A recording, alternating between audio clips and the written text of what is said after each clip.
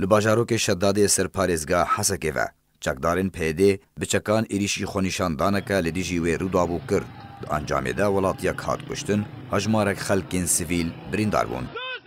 Wek nerazîbûnekê li ser kiryarên PYD û çekdarên bi ser ve rewşa aborî û ewlehî ya ku bajarokê Şedadê yê ser bi parêzgeha Hesekê ve tê de derbas dibe, duh duşemê xwenîşandanekî Rûdaw, Xwenîşandaran sloganên dijî PYD gotin û daxwaza derketina PYD ji Şedadê kirin.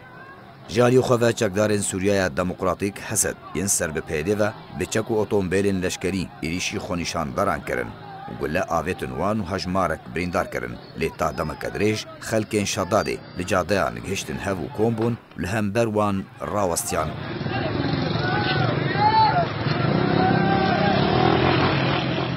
Li gorî hin jê derên xwecihî belav kirine çekdarên Hesed yên ser bi PYD'ê ve gundê El Herîr yê nêzîkî bajarokê Şedadê bi topên hawn armanc kirin.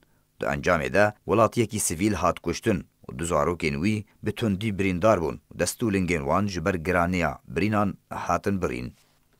Derbarê topbarankirina gundê El Herîr û sedemên wê bûyerê, xwenîşandana Şedadê û rewşa ku ew bajarok gihiştiye de PYD tanha tu daxuyanî belav nekiriye. Bajarokê Şedadê dikeve başûrê Hesekê bi şêst kîlometrî, li ser sînorê Sûriye û Iraqê ye, li ser riya sereke ya bajarê Hesekê û Dêrazorê ye, piraniya xelkên wê yê ereb in ji hoza cibûr in. Hejmara nişteciyê wê nêzîkî bîst hezar kes e. Di destpêka şoreşê de Artêşa Azad ew bajarok desteser kir. Piştre grûpên çekdar yên tundra û piştre jî rêxistina DAIŞ'ê û herî dawî ji beriya du salan ve jêr kontrola çekdarên Hêzên Sûriyaya Demokratîk ya ser bi PYD'ê ve ye û gelek ciwanên Kurd li wî bajarokî şehîd ketine.